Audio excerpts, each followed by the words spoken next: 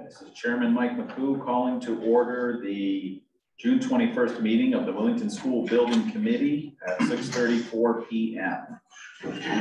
Um, Chairperson report, um, I think I'm just gonna keep it very simple for tonight, um, based on the guidance from the Board of Education, which we'll be discussing tonight. I feel like we probably have a uh, direction that we're going to be agreeable on. And um, so my expectation really is that we'll put the focus in during the meeting and move in that direction.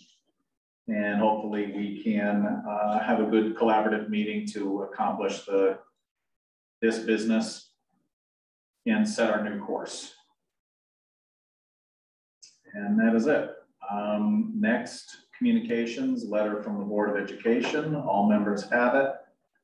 And I'm just gonna read it out loud for, it's fairly short, I'll read it out loud for the value of anyone else who's listening, or if people haven't had a chance to read it yet from the committee.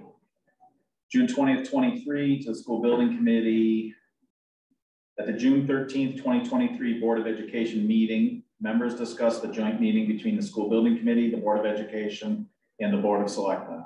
After significant reflection and discussion, the Board of Education voted to move forward with a request for qualifications slash proposals for an updated facility study for the two schools. The study would include a list of repairs necessary at each school with current cost estimates, a priority list for the projects identified, and recommendations for projects to be logically bundled together. The Board of Education believes this work is outside the charge of the school building committee. As a result, the Board of Education recommends that the school building committee complete a written report of their findings and submit it to the Board of Education and Board of Selectmen. The Board of Education would like to sincerely thank all the school building committee members for their effort over the past two years. As volunteers, they spent extensive time committed to identifying one preschool through grade eight school building. We believe the town may need to have a similar committee in the future and their expertise will be welcomed in the future. Sincerely, Phil Stevens on behalf of the Board of Education. So that's it for communications. Um, so we're on to new business, guidance letter from the Board of Education, which I just read, which hopefully sets the stage for this conversation. Um, I think this gives us some clarity that we were looking for and um, also takes on some of the things that some of our members were wrestling with if we should or could or should not be doing, which for the most part is making an assessment of the schools in a deeper sense than what we had, an updated assessment. So I, in my feeling as chairman and based on what we've done so far is I think that it makes perfect sense for us to follow this recommendation and um, prepare a final report, which I would suggest that gets uh, started on the time between now and our next meeting. Um, probably by input from members being emailed in. Again, not a group discussion and email, but a direct email in with ideas. And um, I would work to start framing it out with those suggestions. And we would hopefully have a draft for people to review before our next meeting. And we could either continue working it at that next meeting or finalize it and agree to it and approve it uh, we would also settle up the last of our, miss. we have some missing meeting minutes. And um, we would settle those and um, close out our finances at that time as well. So that, that would allow us to produce a report of findings because we would be able to put a final uh, pin in what was spent and what it was spent on and what remains uh, that essentially stays in the town's um, coffers. So those are my thoughts, and uh, I'm opening it up to uh, committee members for discussion. Mike, I have uh, two thoughts. Um, number one, maybe we should do, Phil and I as the communications committee should do an article for the Willington Wire when it's all over you know, when we have the report to work from, where we could share that report with the residents. Um, Now, my other thought is, um, it's going to be, there will be a cost attached to the, um, the person we're, or persons that we're looking to hire to do the estimations for our facility studies. Um, is it possible to use some of that school building committee money or give that money back and request new money or? I would, I would think based on the approvals, since the, that work is gonna be done by the Board of Ed, the, what the townspeople approved for that money was not directed to the Board of Ed. Although it is the same concept, maybe the same end goal, it's not what the taxpayers approved. Okay, So I would think that as the school building committee concludes its business, Mhm. that's the end of that. The money goes back into the, or stays in the town budget really. okay, And then the, the board of ed would have to seek okay, approval. That's my, that's my feeling. on I think the mil, the portion of the million would, would need it, but not SBC. Not the hundred thousand SBC allotment, right, that's what I was referring So to. that was, that was voted on and allocated to the SBC for Right. their work. Right.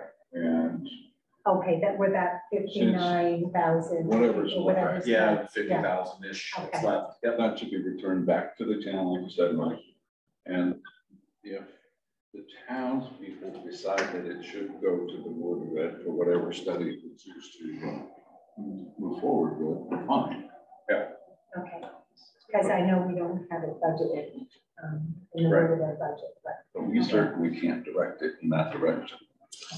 And, The only way I think that would potentially work was if it was one of our tasks to do that. But that is not really No. where we're going. okay.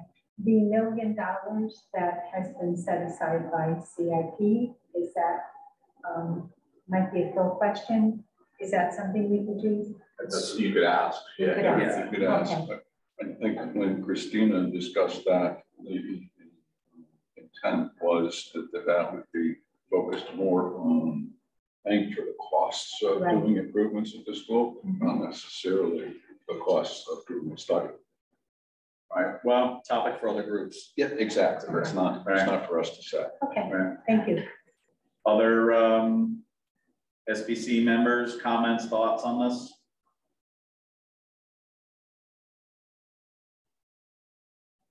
So So all at once, can I make a suggestion? please.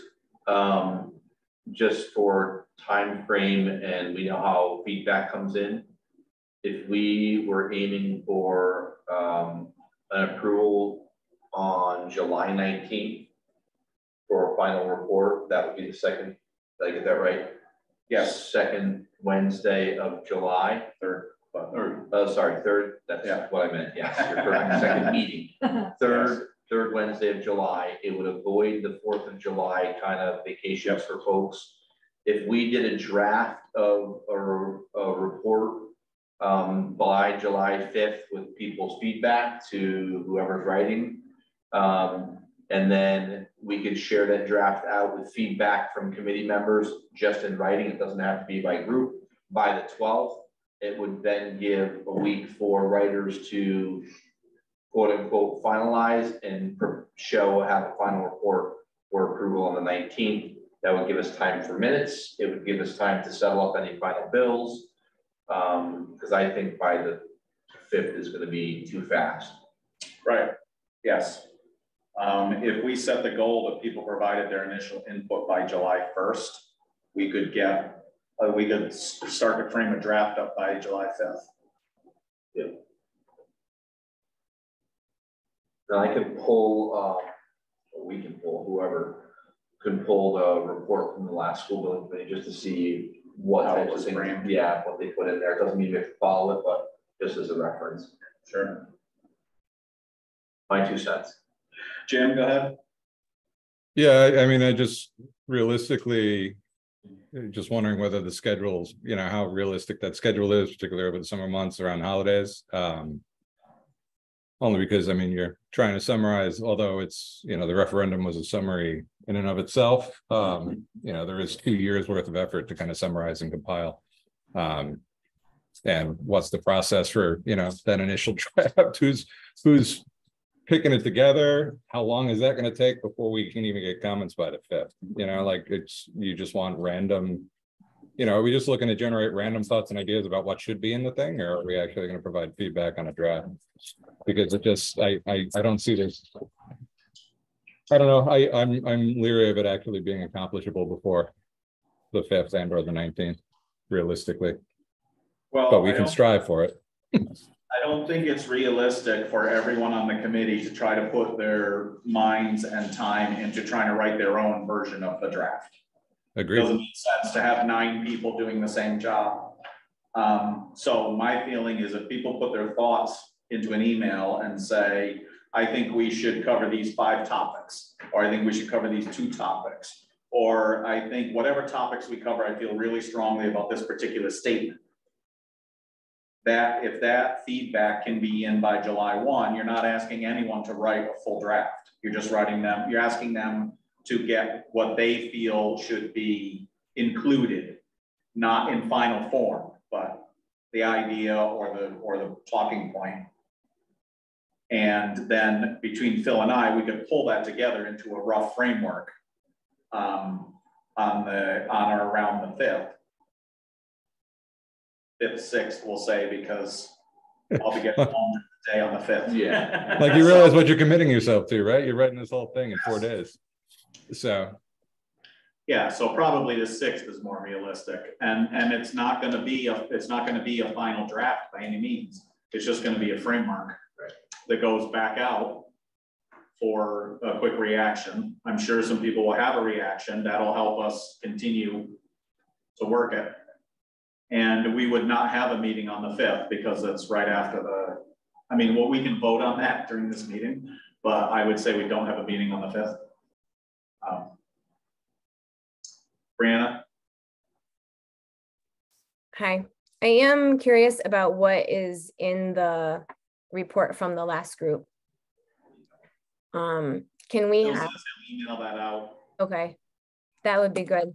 The big difference between that and what we have done now, if you ask me, is just technology. I mean, you can go back and watch any meeting, you can go back and read all the minutes, so maybe ours does not have to be super duper thorough, because if people wanted to know more about that, maybe like reference a date when it came up.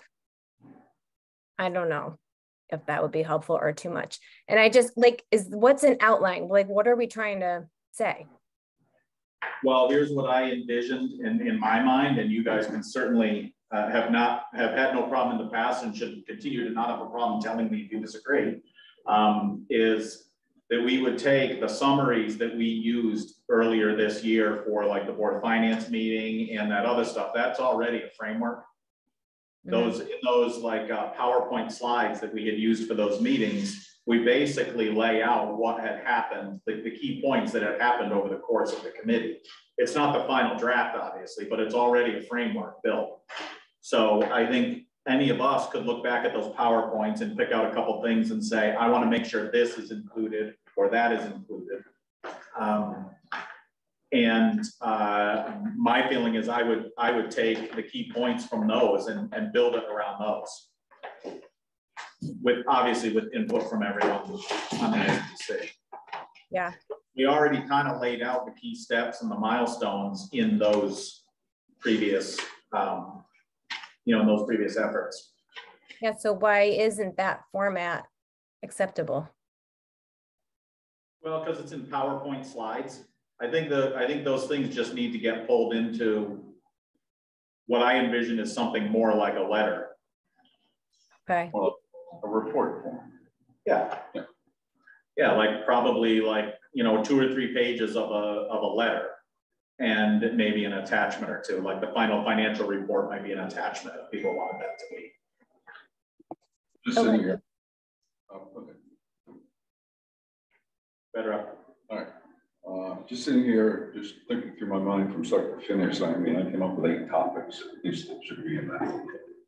So let's see, that's a great thing for you to email to me and, and I will, we'll, uh, I'll embellish it a little bit. What's that? I said I'll embellish it a little. Oh, you, you would add more? Not me, I never do that. Any more comments from the committee and then I'll get, Pete just came in, I'll get him up to date with where we are.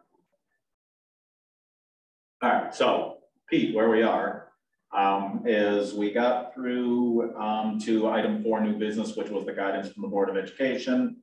I'm assuming you've read the letter from the Board of Education. I was at their meeting, so I Okay. understood the intent of it. Right, so uh, I read the letter to make sure everyone heard it. And uh, we've been talking about not having a meeting on July fifth because that's right after the holiday and it's gonna come up fast. Um, Thank you. But planning, planning on having a meeting on the nineteenth, which would be the next regular um, meeting and the, the, the tentative milestones we're talking about right now is by July one, members of the committee will email to me a any key points or comments that they feel are important for the final report. And um, Phil is going to email out the report from the previous school building committee to give people some food for thought, and see how that was structured. And then we'll probably take the uh, some framework from those PowerPoints that were done for like Board of Finance and all that other stuff about what the milestones had been over the course of the school building committee. Start to combine all those things together into a rough framework on or about July sixth. And send it out to people for some comments and just kind of chug our way towards a, a workable draft by the meeting on the nineteenth. And we would try to close that, catch up all our minutes by the nineteenth and our final financials on the nineteenth. Will the focus just be, I'm not sure what the focus will be, but um, are we just looking at what we actually did or will we look at the outcome of the referendum and come to some conclusion? Well, I think we, I think people should suggest what they want. If, you know, we like, that's probably something you should suggest that, uh, that we report on what we did and what the result of the election was. And, um, I think that, I think the election is an important factor when people twenty years from now are reading this and looking back, or ten years from now, or whatever it is, when people are looking back and saying, well, what happened? There are some of us who will have lived through it, but there will be many new faces at the table, right? And they'll want to know what happened. I, I can speak to that because I was on the nineteen ninety committee. Right. What's different about this outcome from that outcome is we kind of transitioned into doing the ADA upgrades to both, schools, which was kind of a logical outgrowth at that time of, of, of where we were. But we're just kind of ending, so it's a- it's a little bit different. Yeah, I mean, my approach to this was just to kind of run through from start to finish. And the takeaways that the committee walked away from at various steps in that process. What we learned, what we understood, uh, the pulse of the community. Right. The only caution I would have with that is there are people, different people on the committee have different assessments about what messages were sent about certain things. And I don't think, I think we should be very careful about what opinions we put in there I wasn't there in particular. because we, particularly because we also wrestled with how do we assess it? Do we do surveys? Do we ask, do do we actually, you know, all those things we talked about were partly because we have varying ideas about what the vote meant, other than it clearly meant no. That was very clear. No one argues that. Um, but, you know, we have some people who say, oh, the vote was no because their committee had lost trust within the public. I don't think that should be in the report because that's a certain group of people's opinion, but we don't know that that's a widespread or narrow spread. So that kind of thing I don't think should be in the report. No, and I wasn't suggesting that in any- way, I just, you know, the committee learned at every step of the way. Yeah. Um, you know, you're finding a school, uh, recognizing, uh, that we need some twenty-first century improvements. uh, Creating an ed spec. Uh, What, what we learned about cost comparisons, Right, what we learned about the process with the state and the reimbursement thing and the waivers and how right, in, in, almost ineffective that process is. uh, site selection. You know, I mean, every step we can criticize, we can critique. And I don't know that that needs to be in the body of the report from the committee.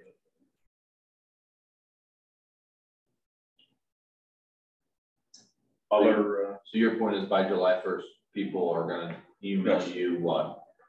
by July first, people are going to email me with what they think should be in the final report. It does not have to be, and probably should not be, a final draft of a paragraph. Why go through that much work when we're gonna chew it all up through the committee anyway? But if you have an outline or a framework, or if you have five topics that want, you want in there, or if there's a particular point that you feel is very important for the future for people to see in the report, get it to me by July first. And I'll, I'll put that into a snapshot when I email out the report. Yeah, so please include Phil on that email, just be- so he can collect things as he and I go back and forth uh, with various work hours and, and who can be at a computer on which day. Um, once you've gathered everyone's points, Mike, is the intent to create some kind of draft report or? Well, I think it would happen in some stages. I think the first stage would be essentially take what everyone sent in and on or around the sixth, send it back out and say, this is, this is cobbled together, the bits and pieces that people have brought up. So that's the first framework right there. And that will spur more thought in people. Oh, I like this, I don't like that, or we should add this comment or that. Could be the basis of an outline for. It would, it would just, yes, it would be just as if you are trying to write a report from all the steps where you do sort of the spitballing, and then you frame it, and then you start filling it in. Sure. Sorry, Except we're gonna ask nine people to do that. I just had to make you the host because my computer just said it was gonna shut down, so Okay. sorry. All right,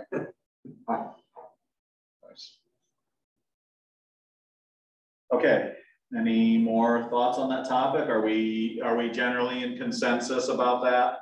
Um, and I'll put out a cancellation, uh, Phil or I will put out a cancellation notice for the fifth, right?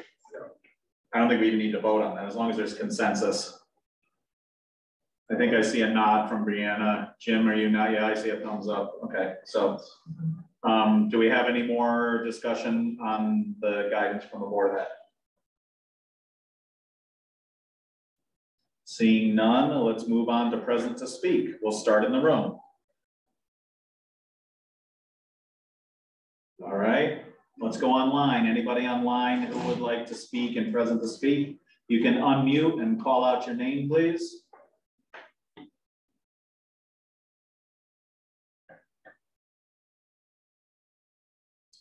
Okay, we're moving on. I'll entertain a motion for adjournment. Can I get a second? I was gonna ask one last question, Mike, but Well, I'm following the agenda. I, I know, I know, you're moving too fast for me, but that's okay. Um, all Nothing, those, nothing should change. all those in favor of adjournment, say aye, wave goodbye. Thank you all. The meeting is adjourned at six fifty-eight PM. Quickest ever.